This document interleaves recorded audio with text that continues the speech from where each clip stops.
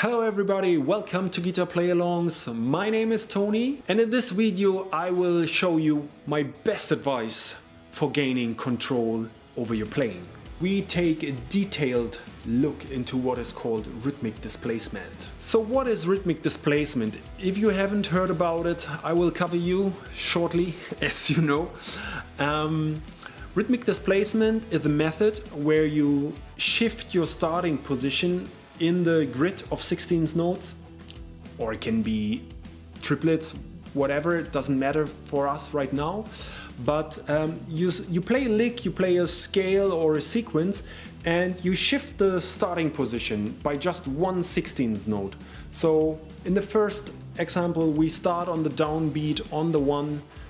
Uh, the second example will be starting the 16th note behind the downbeat, so to say the second position uh, on the grid. Uh, on the third and on the fourth obviously as well. And you will realize that the feeling of the notes you are playing slightly change because the downbeat falls on other positions of the line. So in my personal practice, the method of rhythmic displacement is an important checkpoint. This checkpoint will show me if I am in control of what I'm playing or if I'm not. Maybe you can make this method work for your own licks and own guitar solos you're playing. So just give this method a try in your own playing and practicing. If you prefer printable tabs, backing tracks, Guitar Pro files, backing tracks in different tempos, downloadable uh, play along videos, please make sure to consider subscribing to my Patreon. The link you can find in the description box down below. If you're new to the channel and you like these kind of videos, please don't miss out in subscribing to my channel and you will be notified if any new play along will be online, which is twice a week at the moment. So watch out. I will now shortly explain the lick we are playing today. If you don't need this explanation, feel free to skip to the beginning of the play along, the timestamp you can find in the chapter view. This lick contains of what I call uh, 5-3 shift or 3-5 shift, depends on the direction I play. We play 5 notes on one string then three notes on another string, and then we shift and the sequence starts all over again. For example, the lick starts on the 8th fret of the high E string, and we play five notes on the high E string. One, two, three, four, five. Then we switch to the B string, play only three notes descending, one, two, three, and then comes the shift. That means one, two, three, four, five, one, two, three, shift. And here we do the same five, three shift, uh, but uh, obviously we follow the A minor scale. One, two, three, four, five, one, two, three, shift. Five again, one, two, three, four, five, three, shift. It's always the same. It changes when we reach the G on the A string because then we play the way back. We do the same but ascending and then we begin with three notes on the string and the next string will be five and then the shift follows. That means one, two, three, one, two, three, four, five, shift. And again, one, two, three, one, two, three, four, five, shift.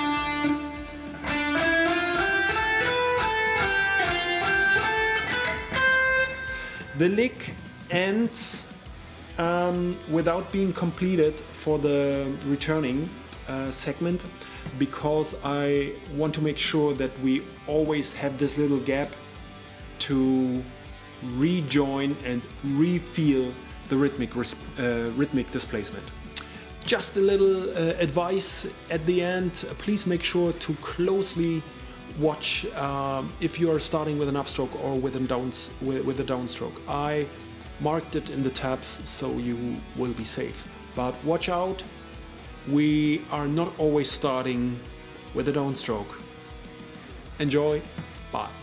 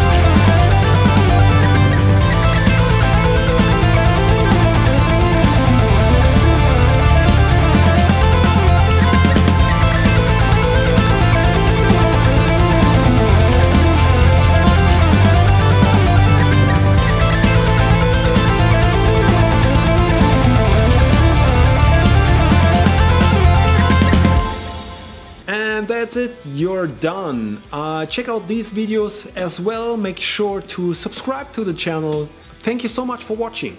Enjoy your day. Keep on practicing. See you next week. Bye.